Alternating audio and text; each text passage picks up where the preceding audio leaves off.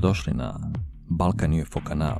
Danas odlazimo u Irsku i Dublin i govorit ćemo o ženi po imenu Marika Jali. Ženi koja tvrdi da je od svoje treće godine predmet proučavanja i eksperimentiranja misteriozne vanzemaljske vrste. Vrste koja ima jasne planove za naš planet. Danas govorimo o ženi koja je dobila pravo da postavi dva pitanja.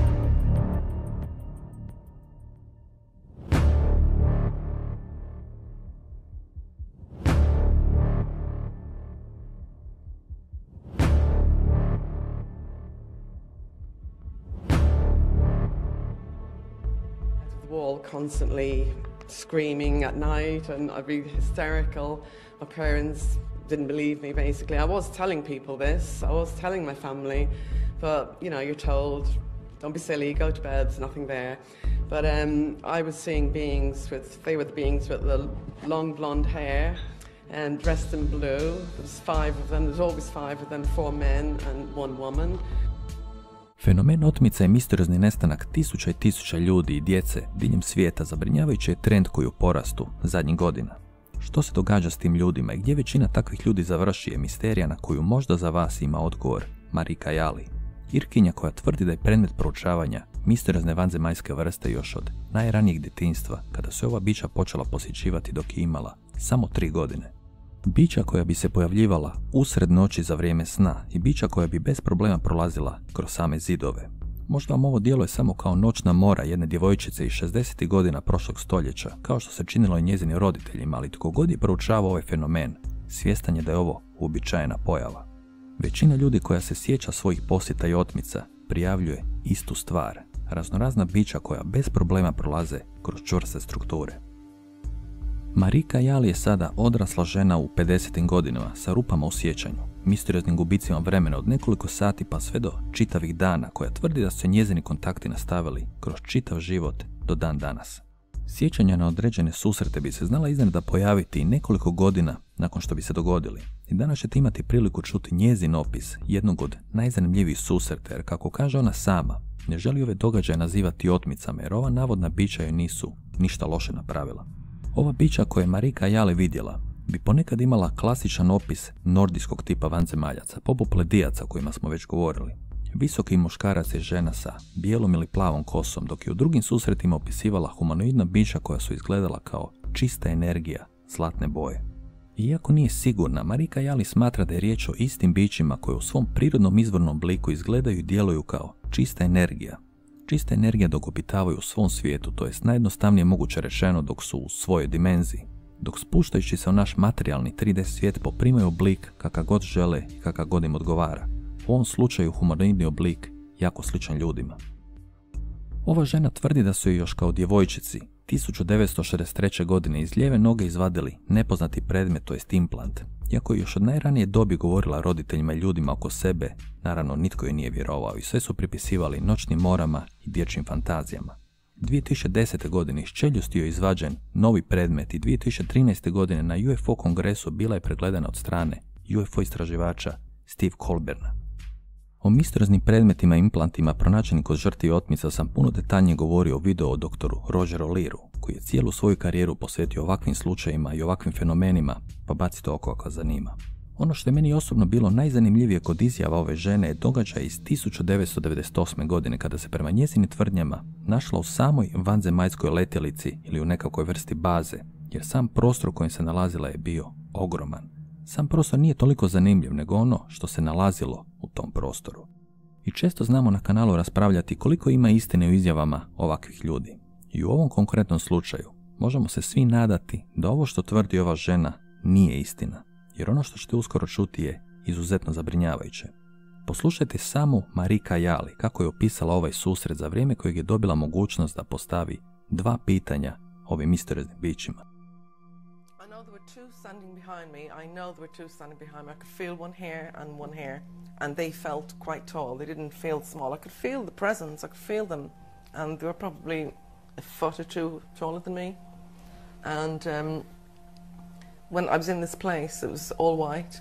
All I could see for just for as far as my eyes could see were little plants, all in little pots. Thou- millions of them, rows and rows and rows of plants going on for, you know, as far as I could see, you know, into the distance. So I don't know how big this place was, or Were they all kinds of different plants? no, they're all exactly the same. Oh, all right. exact, all about a foot high, all exactly the same. And as I was looking down, I did see there were some little beings, but they weren't people or anything, or they're tiny little things like this, like Hmm. not much bigger than the plants, but really thin and like those tiny little like a monkeys. two, one, 18 inches or two feet tall, perhaps. Well, yeah, What's that, is yeah, it about two yeah. foot? Yeah. Well, very. They they just looked dark, and I couldn't see features. They were just sort of Mm. shadows mainly because they were quite far away. I just saw them. They were small, and um, I just heard a voice in my head, and uh, I know it was the one on this side that spoke, and it was a man's voice in Mm-hmm. English. I remember, and it, he just said, "You can ask two questions." So of course I said, "Well, what's with all these plants here, and what's going on?" And the answer was, uh, "These are for the new planet Earth," and that was all, nothing else. These are for the new planet Earth. And next of all, I remember carried on walking. I don't even remember if I was walking, because I don't remember a floor. I don't know if I was floating, but I remember. I mean, I wasn't in my, my right mind because I know I would have asked a lot more questions Yes, or looked yeah. around, but it was either I was totally at ease and didn't need to ask because I already knew, or they have you under some sort of control that you can't actually Yes. ask. I, I, re- I think probably that's So did you find More like yourself going down by these plants, or did you go elsewhere in the ship? Um, we just carried on walking, and we walked this way, and the plants were sort of going that way. But I didn't, as I was walking down, we didn't pass the plants, so I assumed we went another direction. But it looked the same. It was still all white and still looked When, the when they when they said to you about this, the new Earth, did that seem kind of normal? it seemed very normal to me. I said, "Oh, okay," you know, Okay. that kind of not like well, as if the you new already, Earth, as if you already had yeah, as information. if I as already you knew, and it was totally Yeah. acceptable, and it's for the new Earth, and oh, okay, because I know in my right mind I would have said, well, what's the new Earth? Tell me more information. I want to know. I want to Mm. Know, and I would have really asked, but you don't, um, you can't no, do it that. didn't, didn't didn't occur to you. You can't. Well, it's not that it doesn't occur to you. You can't. All right. It's like um, you you can't speak. Basically, you can't interact the way you would normally on Yes. a, a no- Yeah. realistic level like this. Mhm. So either they have you under some sort of trance or hypnosis, or you don't need to ask because you already know everything, and it's Mm. Yes. Yes. So that they're the two options I'm Yeah. left with. So I don't know. and what one. about the second question? Second question, um, we carried on, and um, I just remember then there was people everywhere, but people were they weren't like the rows of plants; they were in rows, long ways like this. And I don't know how far they went up. I didn't look, but I just remember the people next to me, in front of me, Yes. and I have their faces embedded in my mind. I can describe what they were wearing, even. Again, would these would would they would you call them human? Yeah, Yeah. they were just Yeah. like us. They were Yeah. normal people. They were normal people, all wearing different clothes. Um, some were wearing, you know, long nighty kind of things. Maybe they were abductees. I don't know, but they were definitely humans. Mm-hmm. And none of them were talking. It was completely silent. And they were just all. They seemed to be just all standing there, looking straight ahead. And as I came up closer to this, I remember the one lady. She had long hair and a long white sort of gown to probably about here. I remember her distinctly because I was right next to her. And as I came up behind her, she I saw she was looking at a screen. Uh-huh. This screen was just, I mean, it wasn't attached to anything, and you couldn't see it from different angles. I could So were see there it. lots of little they, they were all, yeah, they were all individual They were all looking at screens. all Yeah, individual ones. Yeah, oh, yeah wow. tiny, Wow. like um, probably they weren't even physical things because No. you couldn't see them from up there, and I couldn't see them. Almost like a holographic. could it be like a hologram? Yeah, could you see it? And um, I looked, I looked at the screen over this lady's shoulder, and um, the image. They were all being shown images. I don't know if they were all the same, but um, the one I saw was just um, beautiful pictures of the earth, you know, sea, fish jumping up, and lovely mountains and things like that. And it just sort of like a black just went across the screen, and it changed to just a horrible, horrible, horrible sight. I'll never forget it as long as I live.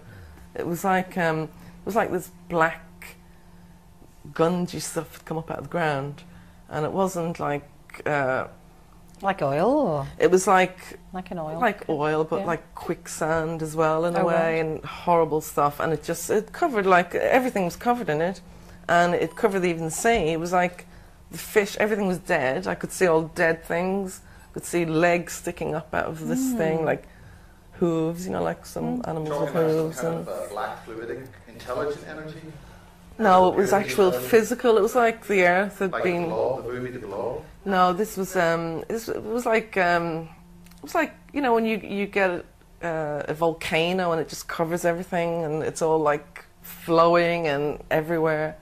So it was But just it was the- black. The, the earth was being Yeah, consumed. It was coming up, yeah, it was coming up Like out. Yeah, it was coming up out of the earth, and it seemed to have killed everything, as far as I Was could see. a dream or the abduction? No, this was on, on when I, what I saw on the ship, what these people were looking at on the screen. So this was a small screen Yeah. this lady Were who's black entities, tendrilic life forms, anything that lived or um, creature type stuff?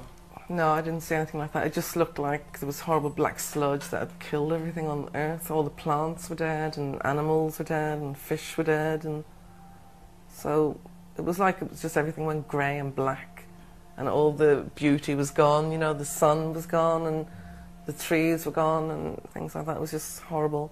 did that I didn't see it coming. It was already there, but it was like you know, bubbling up. bubbling up, and it was, seemed to be coming out of the earth, and it covered covered everything that I could see in front of me. and, and was um, there anything else after that that you saw on the screen that you remember? Well, that's all I remember saying, and Yeah. then they, I heard the voice saying, "You can ask your second question," and I said, um, well, "What's happening with all these people? What are they doing here?" And the answer was, "They're being categorized," and that's all it said. They're being categorized.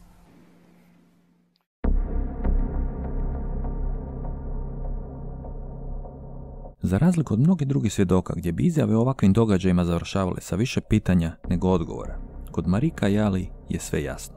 Detaljan opis crne mase koja prekriva planet i uništava sav život na ovom planetu, nakon čega dolazi do očitog plana ponovnog naseljavanja planeta sa novim vrstama biljaka, ali i ljudi. Ljudi koji su prema njezinim riječima kategorizirani. Mislim, što znači uopće ova riječ? Kategorizirani. Kategorizirani za što? Jesu li ovi ljudi koje je vidjela Marika Jali ti isti ljudi koji svake godine misteriozno nestaju po čitavom planetu? Nadajmo se da ne, iako je ovo sve naravno pretpostavka što bi bilo kad bi bilo ako ova žena govori istinu. Jer ova žena možda nije niti svjesna, ali ona u suštini govori o kraju svijeta. Kraju naše civilizacije, početku potpuno nove civilizacije koja će očito biti postavljena na naše mjesto. Mnogi ljudi vjeruju da je naša civilizacija samo nastavak prošle civilizacije koja je također bila uništena. Ciklusi o kojima smo nedavno govorili. Vanzemaljski eksperiment koji očito ne daje rezultate koji se očekuju od nas. I cijela ova današnja priča od Marika Jali me asocirala na jednu izjavu od Bob Lazara, kojeg ne moram posebno predstavljati. Ako još uvijek ne znate tko je ovaj čovjek, ostavit ću vam sve linkove na videa kojem sam govorio o njemu, ali ono što nisam nikad spomenuo je ovo. Prilikom njegovog zaposlenja u bazi 51, točnije područja u sklopu baze 51 po imenu S4. Na jednom od prvih briefinga u poslu s kojim se treba baviti, a bilo je riječ o radu na obrnutom inženjeringu vanzemaljske letjelice njezinog antigravitacijskog pogona, dobio je dokument na uvid, to jest kratki priručnik sa kratkim crticama o našoj povijesti i načinu na koji je čovjek nastao.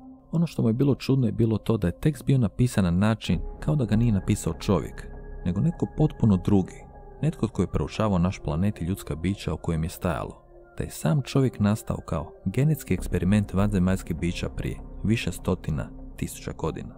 Kroz čitav taj period dogodilo se još 65 većih genetskih korekcija, to jest ispravki, kroz našu povijest.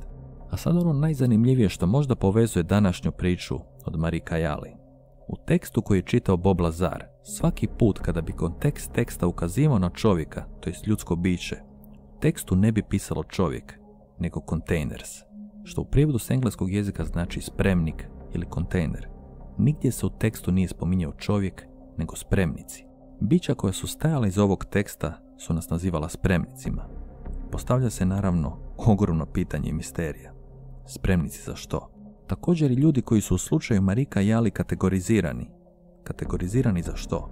Ovdje možemo skakati iz teorije u teoriju, jer Bob Lazar nije imao objašnjenja za ono što je vidio, niti je ponudio objašnjenje, jer ni sam nije znao što to znači. Govori o onome samo što je vidio i čuo. Dodatna pojašnjenja nije dobio. Osobno priče i svjedočanstva poput ovog današnjeg, koliko god nevjerojatno zvučale, ne odbacujem. Istina je da u ovom svijetu ovakvih svjedoka sigurno postoji veliki broj prevaranata, ali isto tako sam siguran da određeni broj ljudi sigurno govori istinu.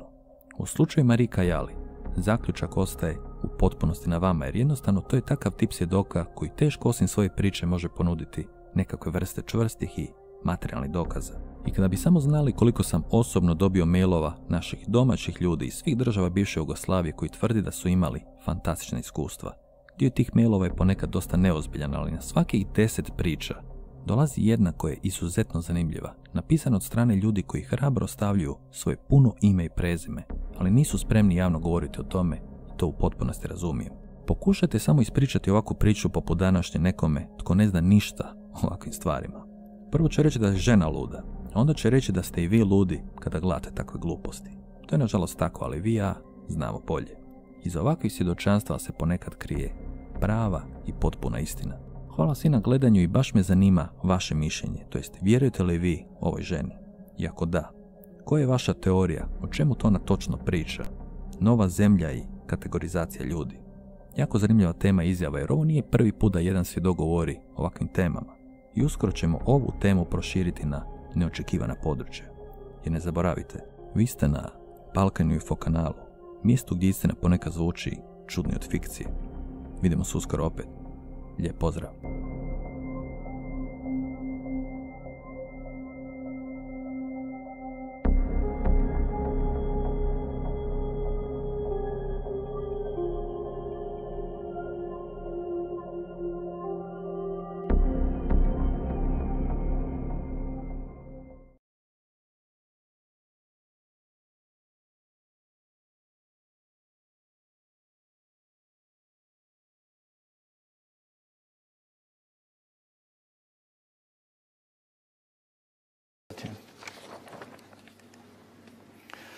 So far, we have seen what damages we have inflicted on our planet in terms of global warming. Most climatologists agree that the world is passing uh, through a very critical moment, and even the Archbishop of Canterbury has warned us of environmental doomsday. But it's not only scientists and theologians but also non-human species who appear to be greatly concerned about the survivability of human species. Let me go back to the question of abduction and ask, to what extent does the abduction phenomenon entail environmental element? I looked at a number of abduction cases which had implications for environmental crisis. And according to the degree uh, of its relevance, I have categorized them into two types. One, the observer communicative type, and two, the participatory instructive type. type. Let me explain main features of these two types. The first one is the observer communicative type. This one involves communication about the present or future condition of the planet and the main purpose on the part of aliens appears to be to communicate about impending critical condition of the Earth, and yet without specifically mentioning what the danger involves, uh, what causes it, or what to do about it. Abductees are shown various images of the Earth in holograms or on flat screen monitors. They see trees lay fallen on barren lands, forests are totally devastated, bodies of animals and humans are strewn about, or strange chemical and industrial materials cover the Earth's surface. Just to show one example, let me play a video clip of an Amashi experience, Marie Kayali. Is Marie here today? Oh, you are there. You'll be here in a minute. I met Marie last December uh, in London, Amash meeting, but I will use uh, interview material done by Joanne because it, it, has a clearer voice and recording quality is much better than mine, and the, the contents is exactly the same.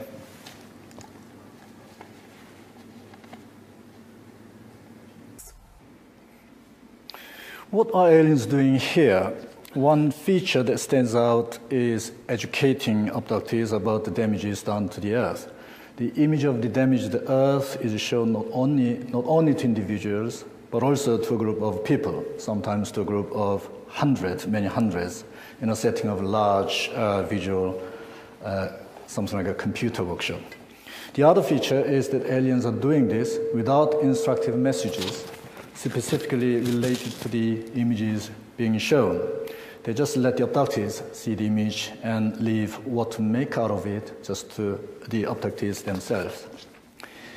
The second type, there are some more things to talk about type 1, but I'll just skip over to second type, which is the participatory instructive type.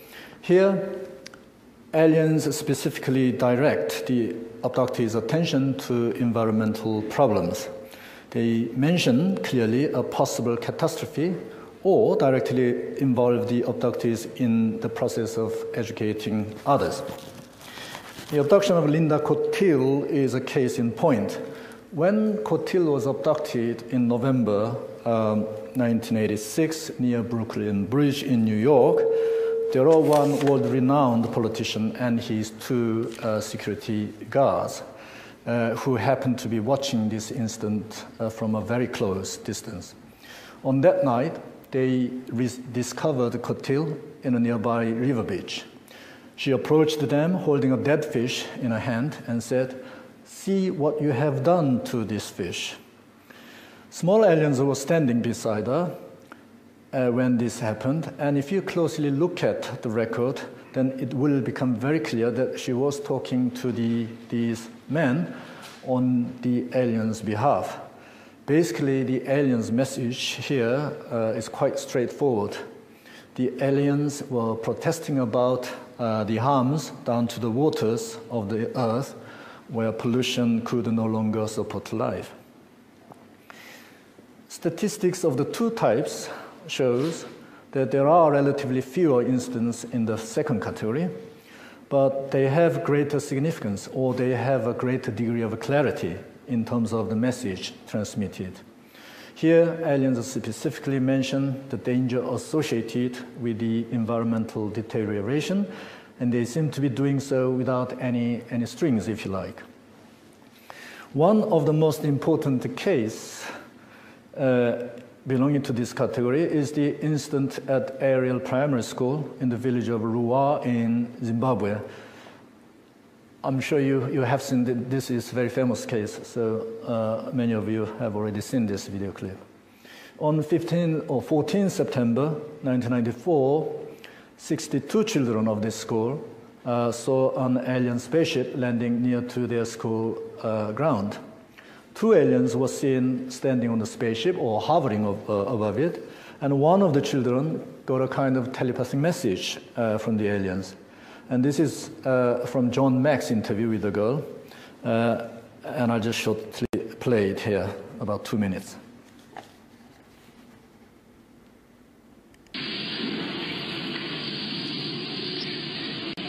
What I thought was maybe the war's going to end. Maybe they're telling us the war's going to end. Um, why do you think they might want us to be scared? Mm, because um, we, maybe because we never, we don't look after the planet, um, the area properly. Mm-hmm. And uh, Melanie, this is is this an idea that uh, you have had before that we don't look after the planet properly in the air, or did this idea come to you when you had this experience? When I had this experience. Mm-hmm. And how did that idea come to you from this? Experience? This is a little hard, but try try to be with me here, okay? When you, how did this idea come to you when you had this experience?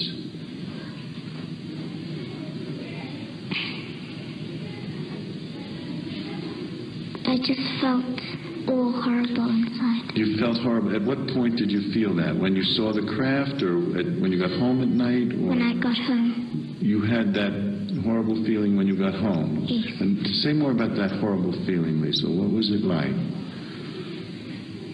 It like in the world, all the trees will just go down and and there will be no air and people will be dying. Mm-hmm. And those thoughts came to you. Had you had those thoughts before this experience? No. No. And did how did those thoughts come to you? Did they come to you from the craft or from From the man. the man? And the man, did the man say those things to you? Uh, how did he get that across to you? Well, he never said anything. It's just that the face plus the eyes. What, what was the sense you got from those eyes? He was interested. The girl here is, is saying maybe the world is going to end because we um, don't look after the planet and the air properly. All trees, all the trees go down and there will be no air. People will be dying. I tend to take this incident rather seriously. The reported incident has least element of a hoax, and the aliens do not seem to have any ulterior motive in turning up to the school children and communicating to them. The message is quite clear, without anything cryptic or symbolic codified in. Uh, literally is about uh, the impending collapse of the Earth's ecological system.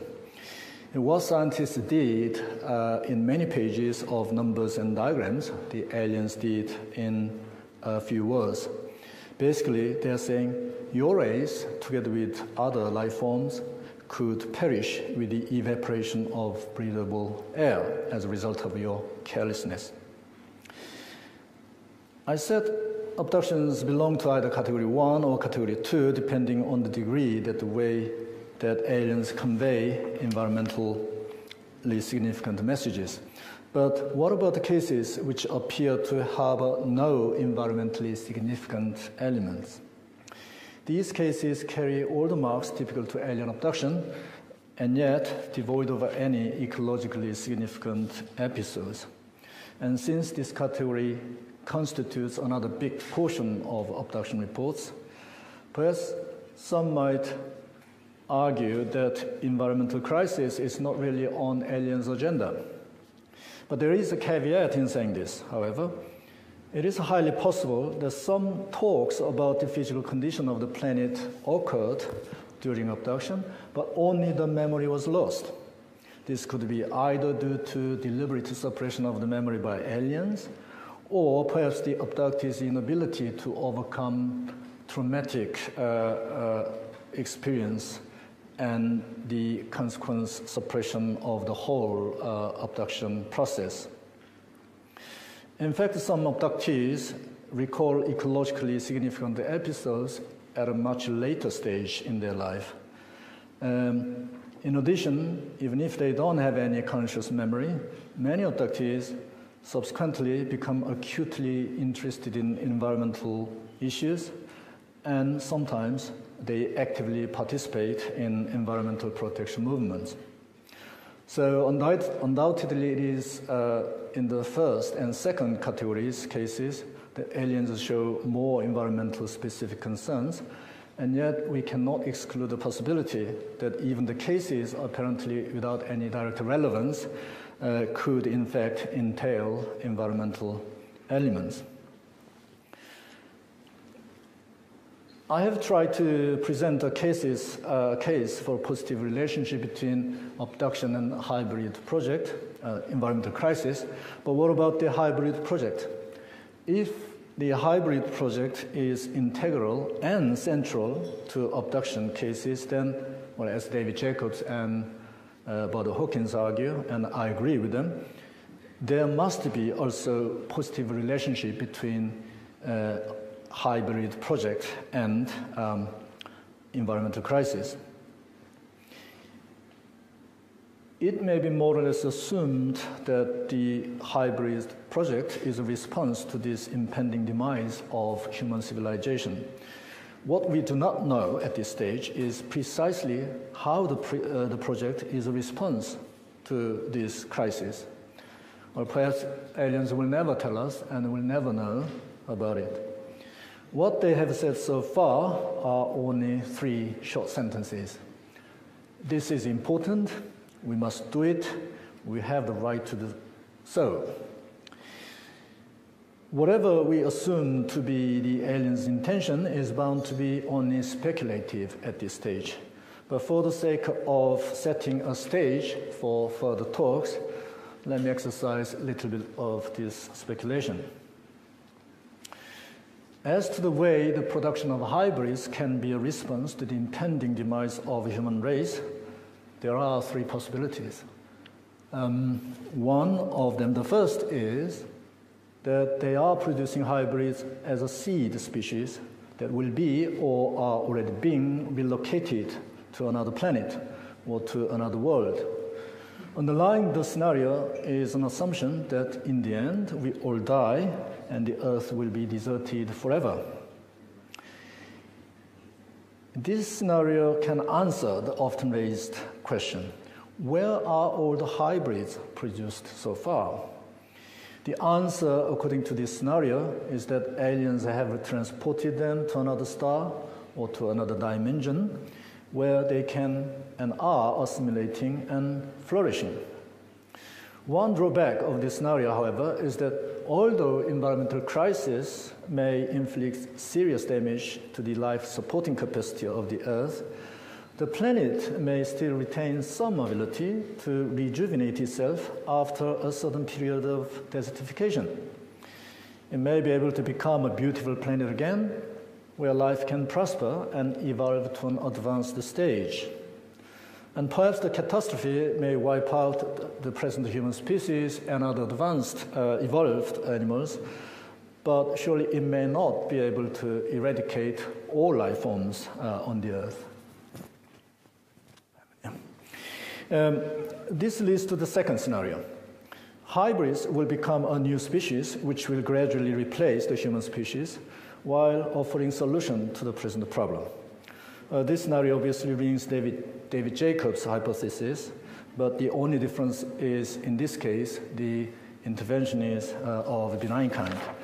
Um, hybrids will adapt, adapt, to human society, visibly or invisibly, and devise, to, devise ways to solve the present environmental problem. The process of solution will include setting of technological innovation, exercising political leadership, and restructuring the global economic and financial system.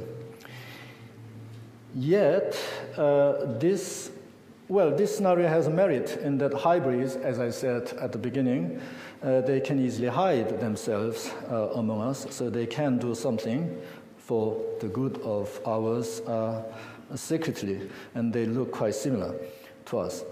However, uh, if uh, this scenario is to be true, Given the pace of uh, global warming that is maximally stretching the self-sustaining capacity of the Earth, around by now there must be visible influence, influence of these hybrids on major processes of world economy and politics. However, we do not have any signs whatsoever such uh, development yet. No distinctive group of strange humans, strange humans so far uh, have been identified who possess very special intellect and distinctly future-oriented political vision together with financial power large enough to stop the climate change. In fact, what we are seeing at the moment is the world is actually moving towards the very opposite direction. So this scenario has its own limitation. The last scenario is we are, uh, or aliens are producing hybrids as a new species that will repopulate the Earth, but only after the Earth is left deserted for a certain period of time. The hybrids will be brought down to the Earth again when the Earth ecosystem regains ability to support advanced life again. And this scenario improves on the drawbacks of the previous two scenarios. But it is not without its own weakness. According to James Hansen, again, it takes 10 years for atmospheric methane to turn into CO2, and about one third of carbon dioxide emission remains in the atmosphere after 100 years, and one quarter still remain after 500 years. So, therefore, it will take several hundred years or even several thousand years until the uh, Earth ecosystem becomes clean again after the extinction of advanced life forms. But do the hybrids have such a long life expectancy? And where will they be staying while all these things are taking place on the Earth? Uh, spaceships look quite small, and I don't think they will be happy to stay there bumping into each other for an extended period of time. But there are solutions to these problems. While the Earth remains unable to support life, the hybrids can be relocated to another planet and proliferate there.